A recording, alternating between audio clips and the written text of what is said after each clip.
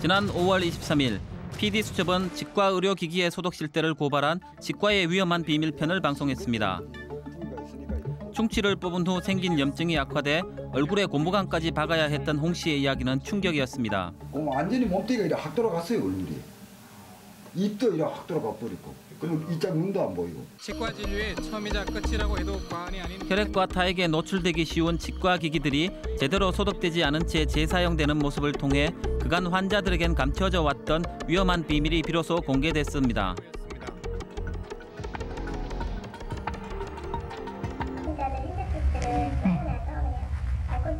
걸로 장갑도 끼지 않은 채 일부 치과인들은 의료인으로서 최소한의 원칙인 손 씻기와 장갑 착용조차 제대로 지키지 않고 있었습니다. 이 환자보다가 이 환자보다 우리는 그렇게 해야 돼요 현실이요.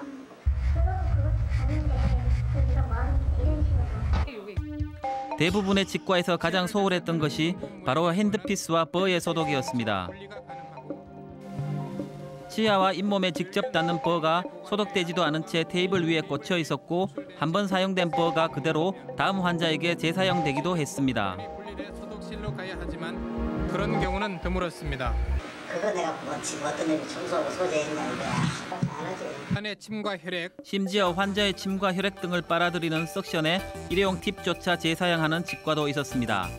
개당 55원이라는 일회용 팁조차 환자와 환자 사이에 갈지 않았던 것입니다. 쓴 것을 또 쓴다는 것입니다. 근데 일회용 쓰는 건 좋아. 그럼 일회용 쓰면은 한 사람만 써야 할 거 아니야. 그래? 한열 군데 들어가서 딱 지켜봐요 그냥. 석션 팁 외에도 개당 40원인 턱받이조차 재사용하는 곳이 있었을 정도로 일부 치과 의사들은 일회용품 사용에도 인색한 모습이었습니다. 그리고 다음 환자 입에 그대로 다시 들어갑니다. 홍종술 씨는 요즘 밥 먹는 일이 고역이 되었습니다. 치과 기기에 대한 소독 기준조차 마련돼 있지 않았던 당시 감염 방지를 위한 의사들의 노력은 불충분해 보였습니다. 다만 그 피해만 환자들의 몫인 듯 했습니다. 따라 마시는 게 쉽습니다.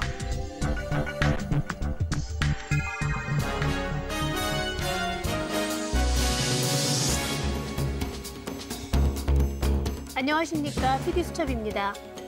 가뜩이나 치과 가는 일이 수월치 않았는데 이 방송을 본 후에 치과 가기가 정말 겁난다. 또 분노를 느낀다. 이렇게 말씀하시는 분들이 참 많았습니다. 치과계 내부에서도 상당한 논란이 있었는데요.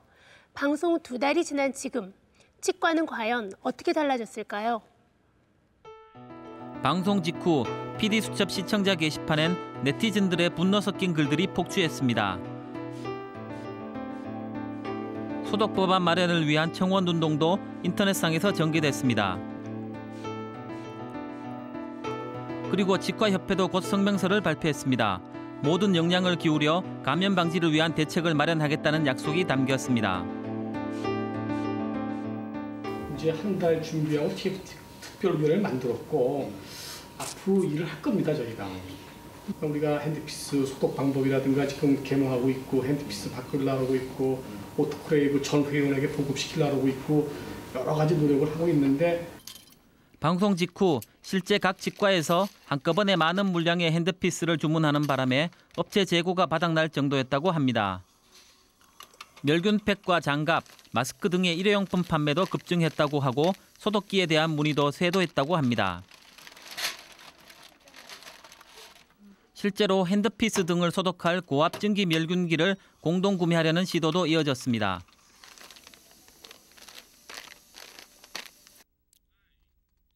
지난 방송에 소개됐던 치과의 변화상도 궁금했습니다. 그런데 멸균팩에 들어있어야 할 핸드피스 등이 여전히 진료 테이블에 꽂힌 채 노출돼 있었습니다.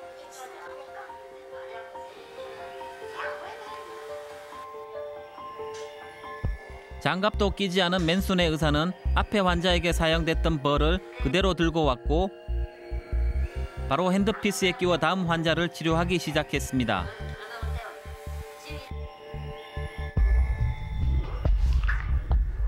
취재진은 무작위로 고른 한 치과도 찾아가 봤습니다. 의사는 맨손으로 벌을 만지작거리는가 하면 반드시 멸균 기계를 통해 소독되어야 하는 버와 핸드피스를 알코올솜으로 닦는 것이 전부였습니다.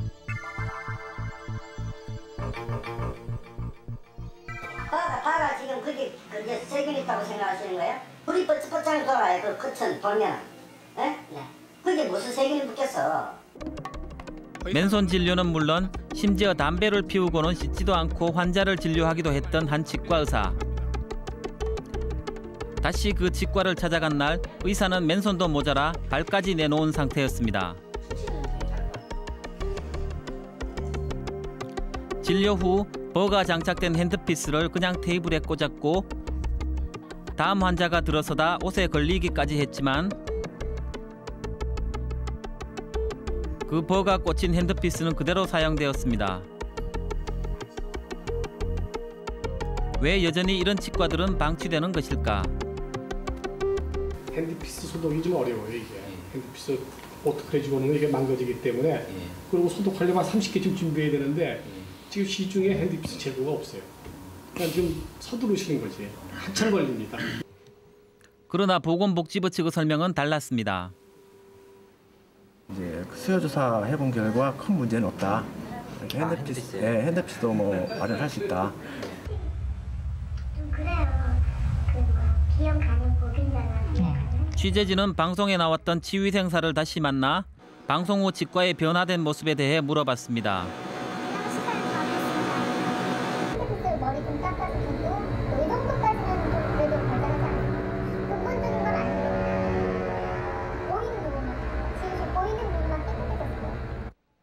그런데 방송 직후 치위생사 협회가 곤혹을 치른 듯했습니다. 소독 의무, 매일 소독 의무는 위생사 의무거든요. 그거는 치과 의사 아는 원장이 하라는 게 아니라 위생사가 해야 되는 거예요. 근데 계속 원장님들이 소독 매일 하라, 철저하라 이러지만 지기들이 몸이 편하라고 해서 안 하는 거란 말이죠. 그래서 저희들 위생사협회가 항의 공문을 보냈어요. 아이 미, 멸균 소독의 그 의무는 위생사 역할인데 병원 내에서 주, 주한 짭이 그거를 원장들 욕하면 어떡하냐. 그 자기들이 각성하고 그래야 되지. 치과의 위험한 비밀편이 방송된 후 몸살을 앓고 있는 또 다른 곳은 치과 재료업계였습니다. 일부 치과 의사들이 PD 수첩 제보자를 찾는다는 소문도 무성했습니다.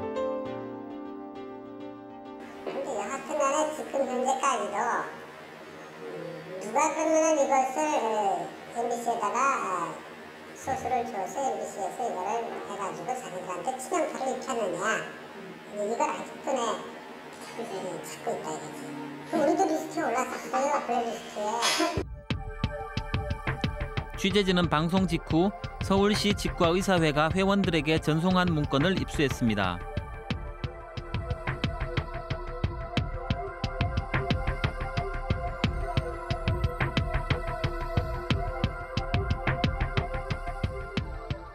먼저 사는 건 나쁘다고 볼 수는 없지 않습니까? 아 그렇죠 그렇죠 근데 초기잖아요 지금 뭐 이틀밖에 안 된 상황이기 때문에 회원들이 상당히 그 충격적인 내용을 보고 막연한 불안감을 어떻게 대처해야 될지 모르고 우왕좌왕하고 있는 상태이기 때문에 6월 중으로 치과 감염 방지 기준을 마련하겠다던 보건복지부는 지난 주말에야 그 기준을 발표했습니다. 또 금년 하반기엔 시민단체 등과 함께 소독 실태 점검에 나서겠다고 했습니다. 남은 시간 치과는 또 얼마나 변화할지 지켜볼 일입니다. 방송이 나가고 두 달이 지났지만 아직 치과 자체의 개선 노력이나 행정적인 점검이 충분치 않아 보입니다. 오히려 이제는 많은 환자들이 의사에게 직접 소독을 어떻게 하는지 묻는다고 합니다. 더 많은 질문이 치과를 변화시키는 가장 좋은 약이 될 것입니다. 오늘 PD 수첩은 또 한 번 병원 감염 문제를 다뤄보려고 합니다. 여러분 내시경 많이 받아보셨죠? 이 내시경은 우리 몸속 깊숙이 들어가는 기구이기 때문에 소독이 안 됐을 경우에 감염의 위험성도 그만큼 크다고 합니다. 그런데 이 내시경은 이 겉으로 봐서는 음, 하나의 관으로 이루어져 있는 것 같지만 자세히 보시면 이 안에 또 다른 관들이 들어있는 아주 복잡한 구조입니다. 때문에 내시경 검사가 끝나면 이 겉 표면은 물론이거니와 구석구석까지 잘 소독을 해야 하는데요. 과연 우리 병원들 이 어떤 방법으로 내시경을 소독하고 있는지 궁금하지 않으십니까?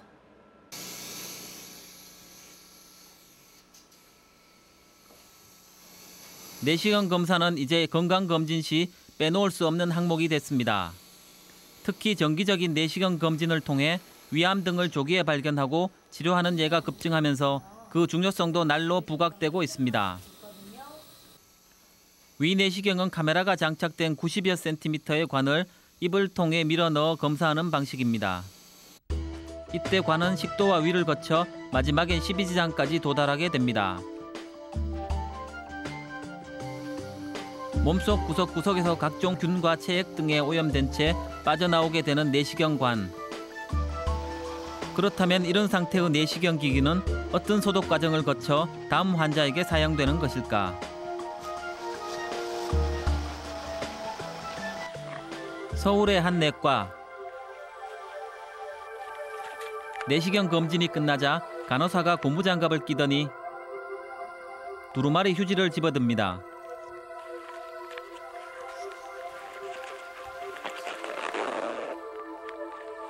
간호사는 서너 번 말아 뜯은 휴지를 쥔 손으로 선풍기를 쥐고 옮기더니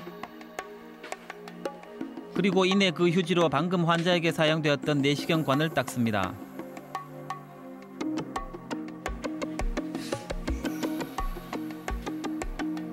이후 다른 무언가를 집어 관을 한두 번 더 닦은 뒤 의료진과 환자는 내시경실을 나갑니다. 그리고는 곧 다음 환자가 내시경실로 들어옵니다. 의사는 다시 걸려있던 내시경을 집어들었고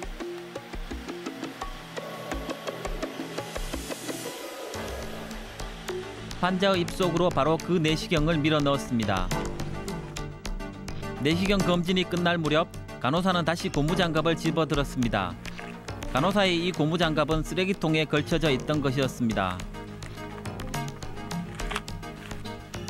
간호사는 익숙한 듯 다시 휴지로 내시경을 닦습니다. 병원 관계자들을 만나봤습니다. 근데 검사 끝나면 어떻게 하세요?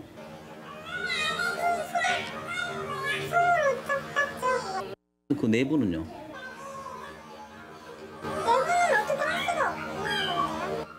뭐 제대로 하시기는 하시- 제대로 확실히 한다고 제가 말씀드릴 수 없습니다. 좀 제대로 못 하시는 뭐 이유 같은 건 혹시 있을까요? 아, 소독이 있군요. 지금 비싸게 소독기 같은 거는 뭐 사용해 보신 적은 없고요. 이미 11년 전 내시경 소독 가이드라인 5단계가 제정됐습니다. 내시경을 빼낸 직후 알코올 거주와 중성 세제로 세척하는 것이 1단계. 소독액에 담그는 것이 2단계인데 간염 바이러스에 노출된 경우에는 20분 이상이 필요합니다. 혹은 세척 단계를 거친 후 자동 세척기를 이용할 수도 있습니다. 내시경 관 안팎에 남은 소독액을 헹궈내고 건조시켜 안전한 곳에 보관하는 것이 3, 4, 5단계입니다. 서울의 또 다른 내과 검진이 끝난 내시경 관 속에서 흘러내리는 체액이 육안으로도 확인됩니다. 그런데 간호사는 중성세제로 내시경 관의 겉만 닦은 후 선반에 놓여있던 타올로 물기를 제거합니다. 그런 내시경은 다시 다음 환자에게 사용됐습니다. 취재진이 소독액을 사용하지 않는 이유를 묻자 의료진은 긴 실린더를 내보였습니다. 그냥 이렇게 세워놓고 있으니까 밑에 이게 다 부서졌는데 쏟아지면 그 살에 닿으면 이거 엄청 위험한 거 아닙니까? 근데 이걸 여기다 쓰신다고요? 의사는 끝까지 그 실린더에 소독액을 부어 내시경을 담근다고 주장했습니다.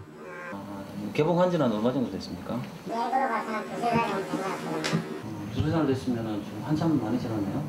그러니까 최대한 이건 28일을 넘는 얘기예요. 케이스가, 케이스가 꽤 많지 않으니까요.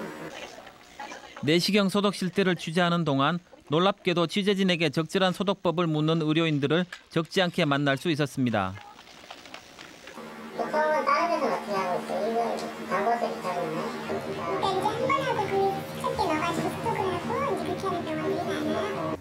가이드라인 같은 거 보니까 이제 중성 세제로 이렇게 씻고 그다음에 안쪽도 이제 솔로 이렇게 씻, 씻도록 돼 있는 것 같은데.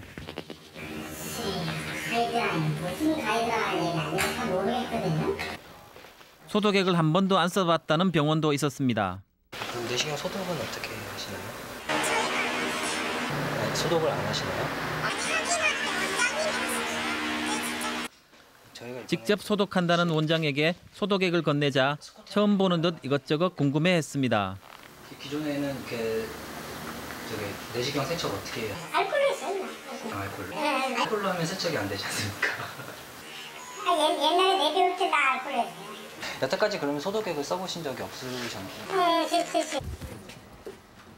한 내시경 판매 업체에서 기기 한 대를 보여줬습니다. 교육용이거든요. 검진 후 제대로 소독되지 않은 내시경입니다. 이렇게 되는구나. 색깔이 완전히 변하네. 마모된 게 아니라 제대로 세척을 안 해가지고. 아. 세척을 안 해서 이렇게 색깔이 변한 게요. 특히 일부 병원에서 그랬던 것처럼 알코올로 닦기만 했을 경우 이런 상태가 된다고 합니다. 이게 이제 그 누런 게 그러면 다 그러면 이게 뭐 사람 몸에 들어갔다는 뒤에 남은 점액질하고 단, 그 점액질이 단백질 성분이거든요. 예. 알코올로만 예. 닦기만 하면은 알코올하고 단백질하고 화학적으로 반응을 일으켜서 여기 그냥 응착이 되는 거예요. 야, 이거 보기에도 뭐 그냥 지저분하죠. 예. 그래서는 이게 이제 내시경 검진은 카메라로 속을 관찰하는 데 그치지 않습니다. 암 검진을 위해서는 조직을 떼내야 합니다. 그래서 이제 다른 이제 이미지 캡처를 해. 그때 조직을 떼내는 기기가 바로 이 생검 겸자입니다. 내시경은 한 채널 안으로 겸자를 밀어 넣어 조직을 떼내게 되는데 조직을 떼낼 땐 크고 작은 출혈을 동반할 수도 있고 이때 관 내부가 균들로 오염될 위험이 한층 높아지게 됩니다. 1991년 휴스턴에서 내시경 검진을 하면서 조직 검사를 받았던 환자가 사망하는 사건이 발생했습니다. 프랩 부인은 내시경 검사 후 바이러스에 감염됐고 폐이식 시 조직 거부 반응을 일으켰다고 합니다. 유족들은 소독되지 않은 내시경에 의한 감염이라고 주장했고 병원이 이를 완강히 거부하면서 사건은 법정으로 옮겨갔습니다. 그러나 담당 의사는 법원에서 결국 프랩 부인에게 사용된 내시경이 소독되지 않은 것임을 시인하고 맙니다. 병원은 유족에게 150만 달러를 지급해야 했습니다. This bronchoscope was taken after washing but not sterilizing, and it was inserted into Alice Pratt's throat. The bronchoscope that was used on her had been used the evening before on an AIDS patient. 이런 위험 때문에 특히 생검 겸자는 시술 후 반드시 고압 증기 멸균기를 이용한 멸균 과정을 거쳐야 합니다. 이후에도 개별 포장해 놓고 시술 직전에 개봉해야 합니다.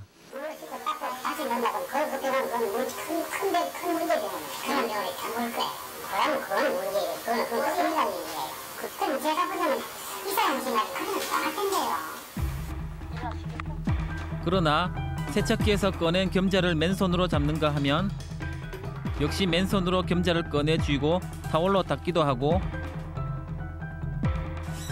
고압 멸균 처리되는 것이 원칙인 생검 겸자를 소독액에 담구었다 뺀 뒤엔 그대로 겸자 거리에 걸어두는데 이렇게 공기 중에 노출된 채 다음 환자에게 그대로 쓰여졌습니다. 생검 겸자는 저 소독액 가지고 안 되고 저기 뭐 그 멸균기에 완전히 절여야 되지 않습니까? 배우겠지. 누구 내신 학교에서는 저거는 멸균해야 된다고 그러던데. 나 저기다 같이 하는 걸 알고 있는데. 대한소화기 내시경 학회는 2년마다 내시경 소독에 관한 설문조사를 실시하고 있습니다. 생검겸자를 검사 후 매번 소독한다는 병원은 42.5%에 지나지 않았습니다. 심지어 8%의 병원은 놀랍게도 소독 자체를 하지 않는다고 응답했습니다. 우리는 내시경을 잘라 생검겸자가 드나드는 관을 꺼내봤습니다. 그리고 그 관 속에 과연 어떤 물질들이 남아 있을지 전자현미경을 통해 단면을 촬영했습니다.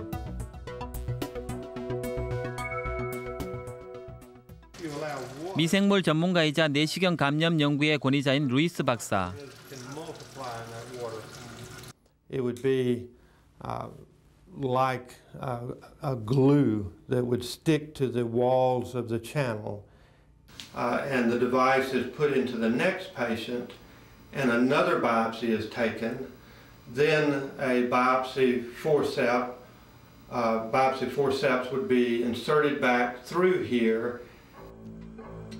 심지어 일부 내시경 전문의조차 소독 가이드라인을 모르는 마당에 일반인들이야 말할 것도 없습니다.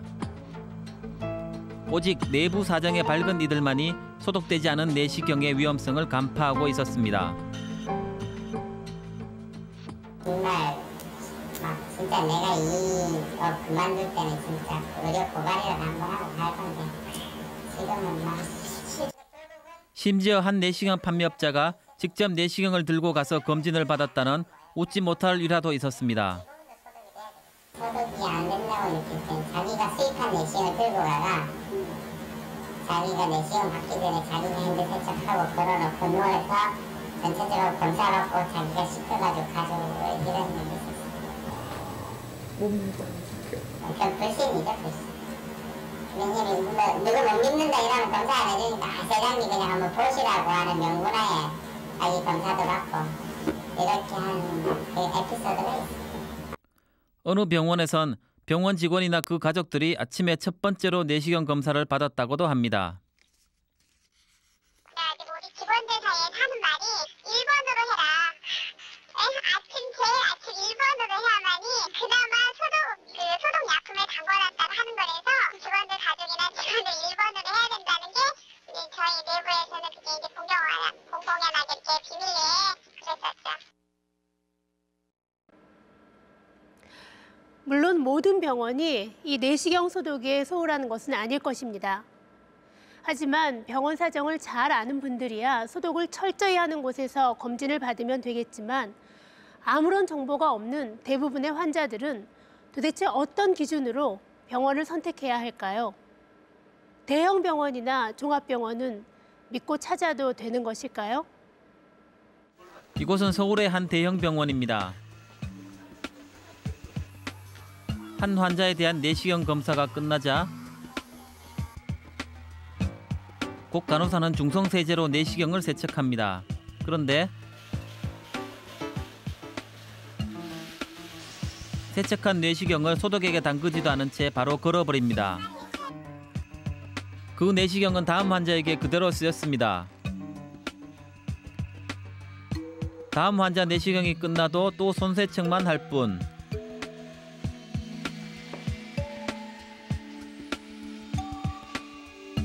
그 내시경은 다시 그 다음 환자에게 쓰였고 의사가 내시경을 걸어두고 가면 간호사는 또다시 내시경을 중성세제로만 세척한 후 걸어두고 맙니다. 이곳은 대형 병원답게 버젓이 자동 세척기도 구비해 놓고 있었습니다. 자동 세척기를 사용하는 데는 5분이면 족합니다.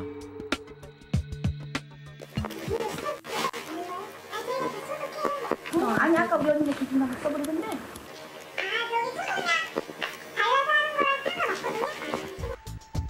그 독한 소독약을 발라서 쓴다는 황당한 답변만이 돌아왔습니다. 이날 오전 3시간 동안 내시경 검진 환자는 20여 명. 완벽한 소독을 하려면 사실 시간이 많이 걸려요. 또한 사이클이 얼마 정도 걸리죠? 그래서 30분을 잡아줘야 돼. 손으로 하고 이렇게 완벽하게 하려면 30분 잡아줘야 되는데 뭐 능숙한 조련 저보다. 한 사람 검진 후 완벽한 소독을 위해서는 30여 분이 걸린다는데 취재진은 한 내시경실을 지켜보기로 했습니다. 이날 30여 분 동안 4명의 환자가 신속하게 검진을 받고 돌아갔습니다. 물론 그 4명의 환자들이 차례로 검진받는 동안 소독액은 물론 자동 세척기도 쓰이지 않았습니다.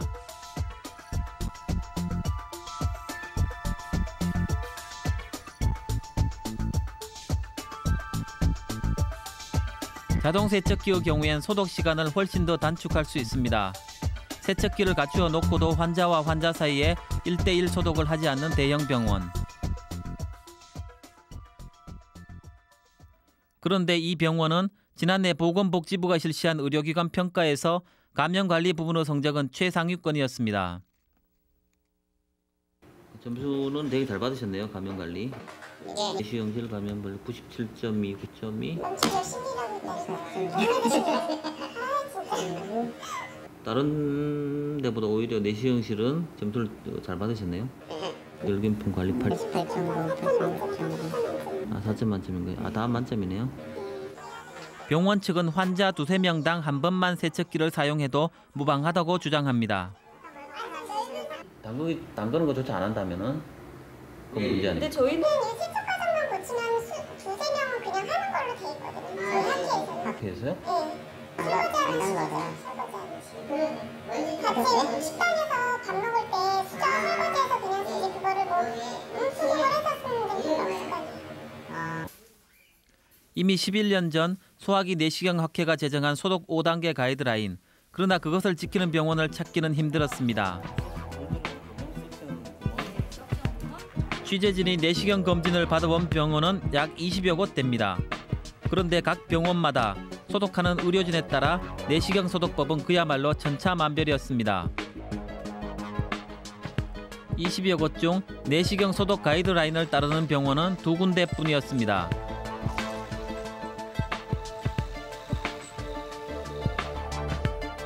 전국 400여 병원이 응답한 학회 설문조사에서 내시경을 적절하게 소독하고 있다고 답한 곳은 45.5%에 불과했습니다. 나머지 50% 이상은 불만족스럽거나 현재 수가로는 이 정도가 최선이라고 답했습니다.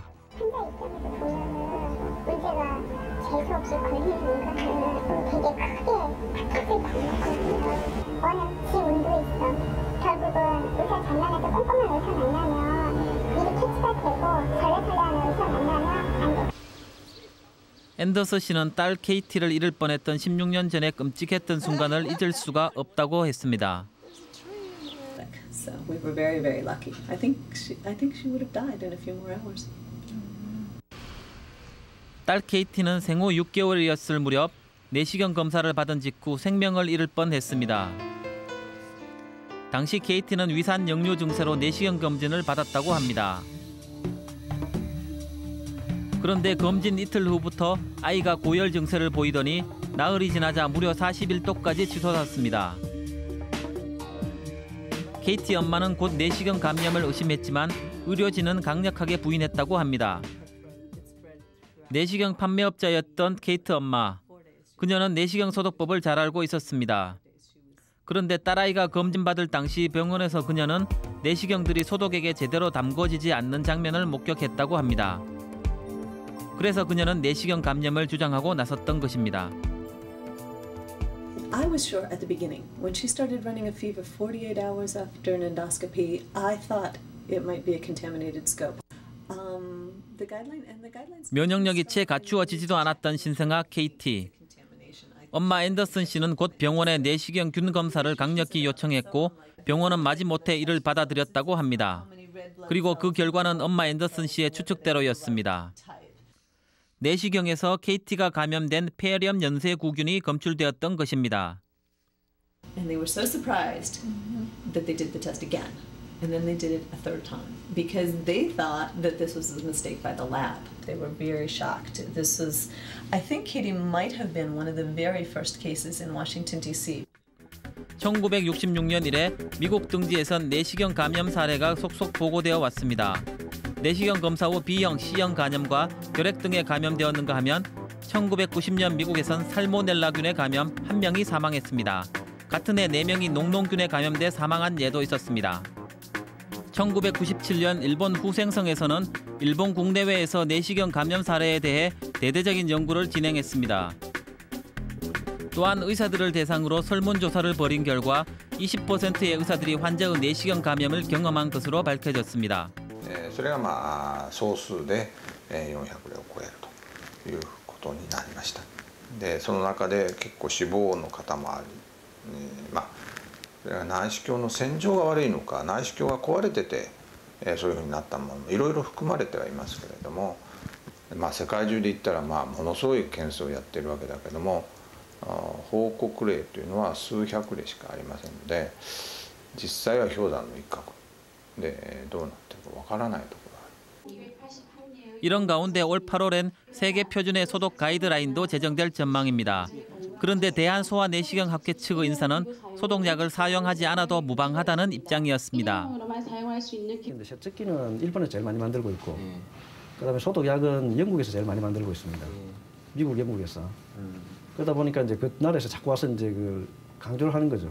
가이드라인도 자꾸 엄격하게 만들고 이걸 안 쓰면 안 된다는 식으로 그 뭐 소독약이 최고라는 식으로 자꾸 이제 그쪽에서 마케팅을 하는 겁니다. 그렇다면 누구나 소독약을 사용하지 않은 내시경으로 검진받아도 안전하다는 것일까? 저는 정말 그런 지능력이 떨어져 있는 사람이 있을 거 아니에요. 당뇨가 심하다든지 뭐 그 경화가 심하다든지 뭐 이런 사람들. 뭐 그런 사람들은 아무래도 조그마한 감염에도 생선 회만 먹어도 그 폐혈증에 걸리고 비브리오 같은 게 걸리는데 그 얼마든지 그럴 가능성은 있죠. 그렇지만 그런 사람들까지 다 염두에 둬 가지고 할 수는 없는 거고요. 일부 병원의 독특한 세척 방법은 과연 얼마나 안전한 것일까? 취재진은 내시경 균 실험을 해보기로 했습니다. 우선 내시경 끝부분을 녹농균으로 오염시켰습니다.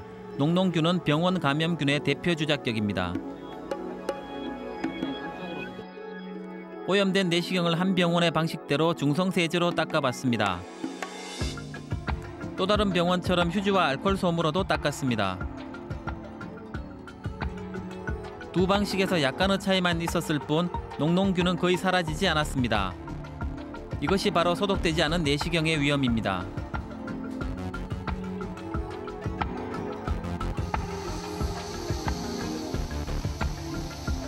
그러나 내시경으로 인한 감염을 확인하기란 쉽지 않습니다.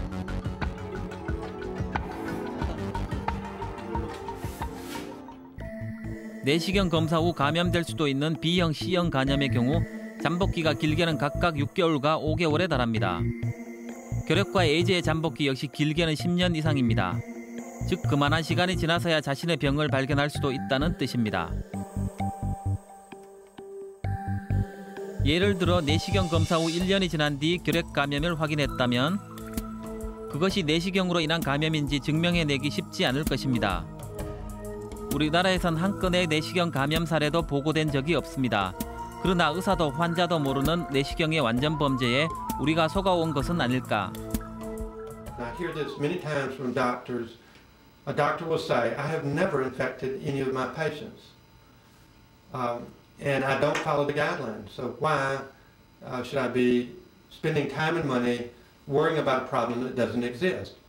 My argument is you don't know whether you've infected your patients. You may have infected one patient a week, and that patient goes off and gets treated for some infection and it's blamed on something else. There's no study done to show whether that patient was infected by you or, or some other means.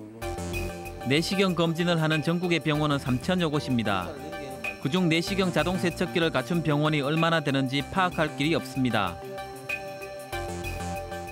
물론 손세척 후 일정 시간 소독약에 담그는 것으로도 감염 예방은 가능합니다. 그러나 사람이 하는 일이라 편차를 무시하기 힘듭니다.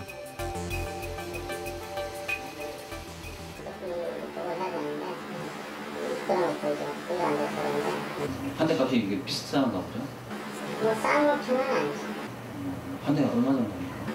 보통은 뭐 천만 원, 500에서 천만 원 사이가 아닌가 싶습니다. 요즘 솔직히 내시경 제대로 다 소독하는 데는 대학교 빼놓고 없어요. 개인공에서 배우고 못합니다. 아무래도 그게 있겠지만 내시경을 전문으로 하는 데는 합니다. 그게 있겠지만 제가 알기로는 내시경 소독이 가장 크게 맞아요. 그것도 뭐꼭 의무적인 것도 아니고.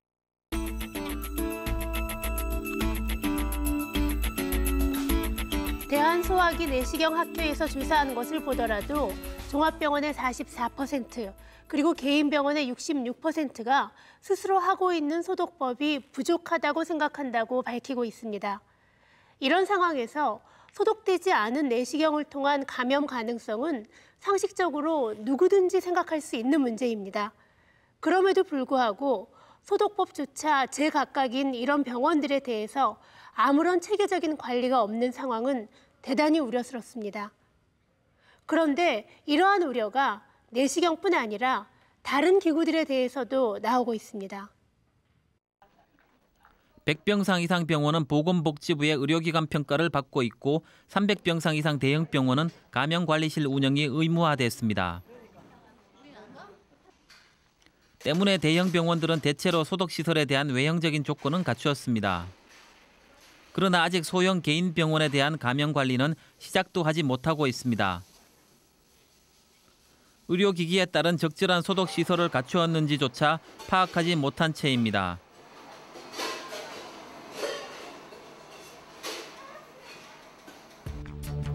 이것은 산부인과에서 가장 많이 사용되는 스테인레스 질경입니다. 한 산부인과 의사가 맨손인 채로 환자에게 다가와 질경 앞부분을 손으로 잡더니 진료를 시작합니다. 또 다른 산부인과 역시 맨손인 의사는 질경을 아예 손으로 감싸지었습니다. 여성의 질 점막에 직접 닿는 기구인 질경들은 어떻게 소독되고 있을까?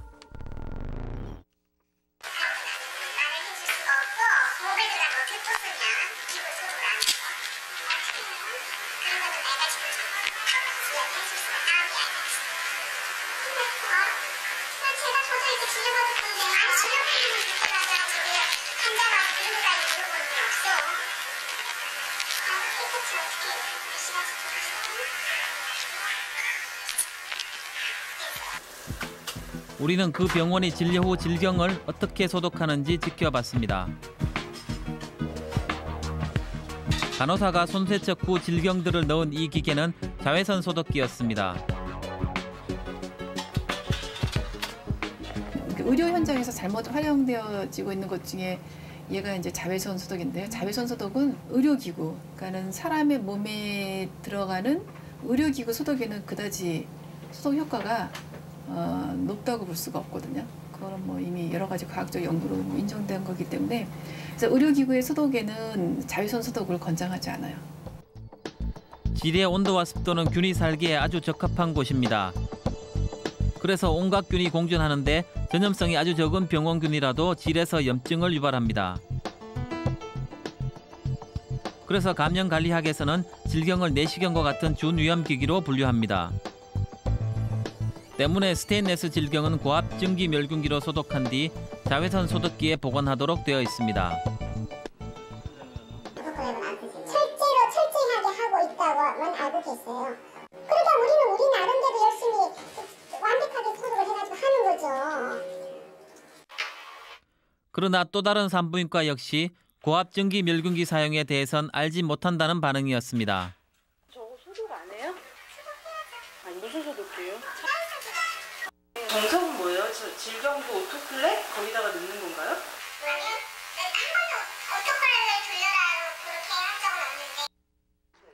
고압 증기 멸균기를 구비해 놓고도 질경 소독에 사용해 본 적은 없다는 것입니다.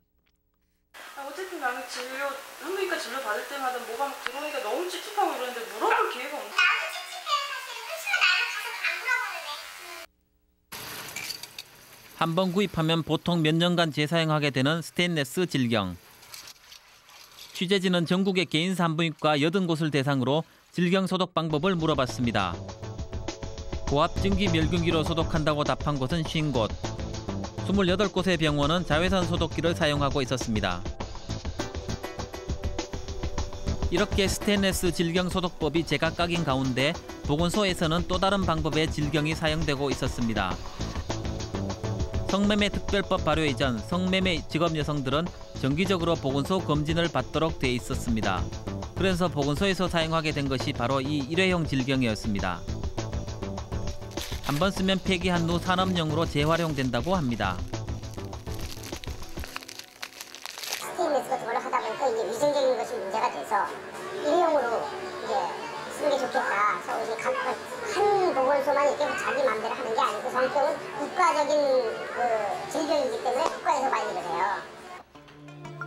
강남의 한 산부인과에서는 원하는 환자에 한해 일회용 질경을 사용하고 있었습니다. 비용은 환자 개인 부담입니다. 그러나 환자들의 90% 이상이 일회용을 쓴다고 합니다. 우리 언니가 이제 의사인데 한국에 와서 뭐 제가 암 검사라도 해주고 그러면 어 뭐 oh my god 막 이러면서 한국이 그렇게 발달을 했는데 그러니까 그 언니는 60년대에 미국을 갔기 때문에 한국이 굉장히 많이 발달했잖아요. 근데 이렇게 이 스테인레스 직영 들이대는 게 참 이상하다 그렇게 얘기하더라고요. 산부인과용 질경 외에도 고압증기 멸균법으로 소독해야 할 의료기기들은 많습니다. 특히 수술을 하는 병원이라면 멸균 시설은 필수입니다. 그런 건 어떻게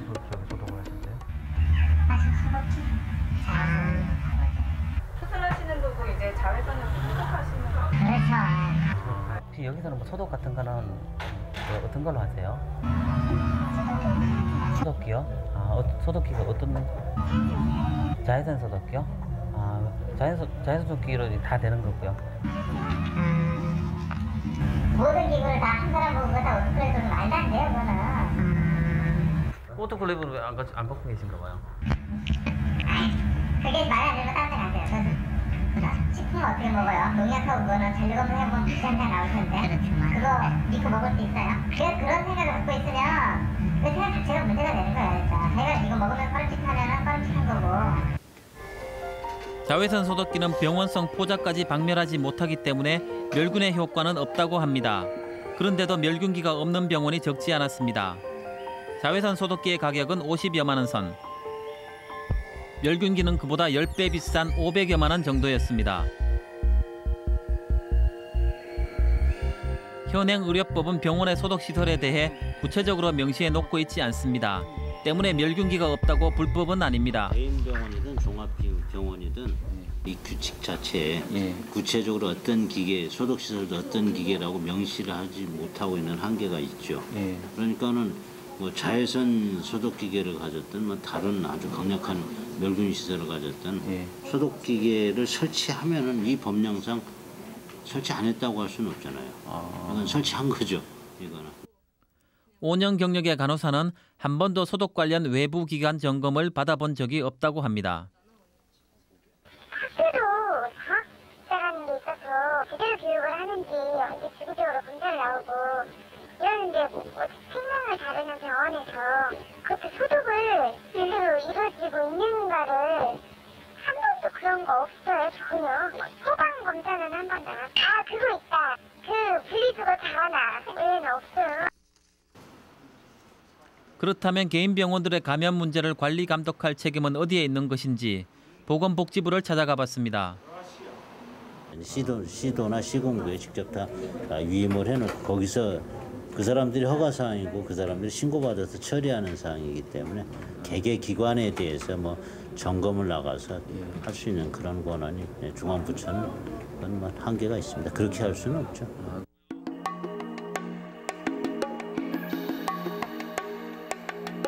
지도 감독 권한은 서울시에는 없다고? 전혀 없습니다 민호가 지도 감독 교분 권한이 전부 다 자치구에 있습니다 아, 전부 구청에서